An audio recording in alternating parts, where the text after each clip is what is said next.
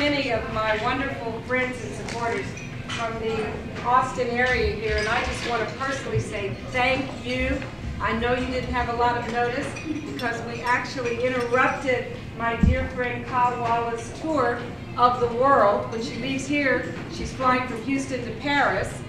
She is really exhausted, but she agreed, really based on my friendship and desire to see her, to insert Austin into her schedule.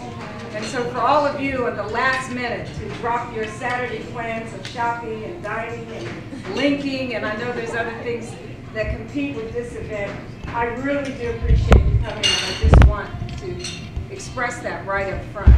The program that we have for you today is very simple and very interactive. I want you to talk to Kah. The first time I met her was at a women's conference in Pennsylvania. I was just blown away, so much so that when she left the stage, I said, I've got to meet this lady, because she's going to run the world one day. Little did I know, little did I know that she was already a politician. She started in politics in her home city, Douala, Cameroon, in 2007. She's also an entrepreneur, a very successful entrepreneur. She was educated in the United States. She went to Howard University, studied additionally for her MBA in the States, and went back and started her own business where she helps to empower people as a consultant mostly with strategy, strategic thinking. She's brilliant. She communicates on a level that you're just awestruck. So that's why I wanted my friends in Austin to meet her. I also want to support her. When you leave, I want you to take some information with you that talks about what Kah is all about, her platform, what she's planning to do. I wrote a speech that I want to share, but I didn't get to copy it over, so it's kind of messy. but there's some key facts that I want to share with you. First thing that came to my mind when I realized Kah had accepted my invitation is just how much power there is in proximity. And when you're around Kah, you'll find out immediately that her kinetic energy is just contagious. She is someone that has so much momentum and power, vision and ideas, all of the descriptors that we can think of for a true leader. But the difference about Kah is that she puts principles ahead of politics. Kah will remind you of someone that's in the White House right now. Kah focuses in her own country on empowering through education, through improving health, through exposure to culture, to focusing on infrastructure, and to making sure technology is used. Just a little plug for IBM and Dell. and the engineers in the room. But really, she does define leadership by giving the power to the participants and the players, not by wielding or yielding or absorbing the power and aggrandizing herself. That's just the kind of person she is. So I'm sure that before you leave today, you're going to want to help me help Kah get elected.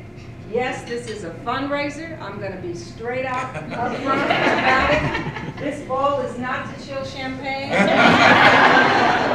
this goal is to make sure you pass by before you leave and just help us. You are not giving directly to Kah We cannot, as U.S. citizens, contribute to a candidate from her country. What we're going to help her with is an NGO called Africa Obaso. Obaso means on the move, going, changing, that kinetic power that I talked about. That NGO is going to register voters in her country. They will vote on the candidate of their choice. So what we're doing is enabling a democratic process, quite frankly. Kah is a member of the opposition party. She's the first woman ever in the history of Cameroon to run for president.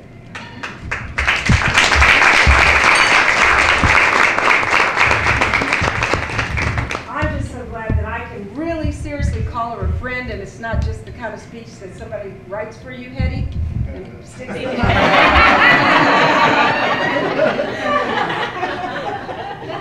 As I said, we met in Pennsylvania. We've worked together in Ecuador. We've been on stage together in South Africa. And when I was in New York two weeks ago, I got an email and she said, Marilyn, here's my travel list. Maybe I'll see you. And it's like, I'm in New York. She's on stage with Bill Clinton at the Economist Forum. I couldn't even get a ticket. It was sold out. They said I could pay the $75 and wait in line. And if people didn't show, I could get in. And I said, now you've got to come to Austin. so just leaving that stage and DC and Boston, and she was in Houston last night. She's going to spend just an hour to an hour and a half this afternoon with us, talking about her country and what's going on. And then we're going to allow you to interact and ask questions. Then she's going to talk about her candidacy for about another 15 minutes. And then we're going to allow you to support her, and we're going to toast her with uh, just a bit of bubbly and send her on her way. But many of you have met her already. Before you leave, I have a present for Kah. She's going to take a piece of us back with her. So I want each one of you, I'll start with Roy Perry, to just touch this stone, make a wish for Kah, and pass it throughout the room. She'll be the last one to touch it. She'll put it back in this pouch, and she's going to take a piece of us back to Cameroon so that she knows she's always in our heart. And we are probably looking at the next president, the first female president the nation of Cameroon. And you're all going to have a chance to be a part of that. Thank you so much for coming. I'll be back to help conduct the Q and watch the time. The servers are at your disposal. Whatever you want that's not alcoholic, I'll pay for it. If you want an alcoholic beverage, please go ahead and order and pay.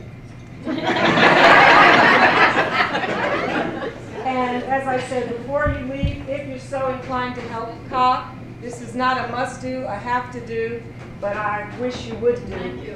Help us help Kah change that part of the continent, which I think is just her first step.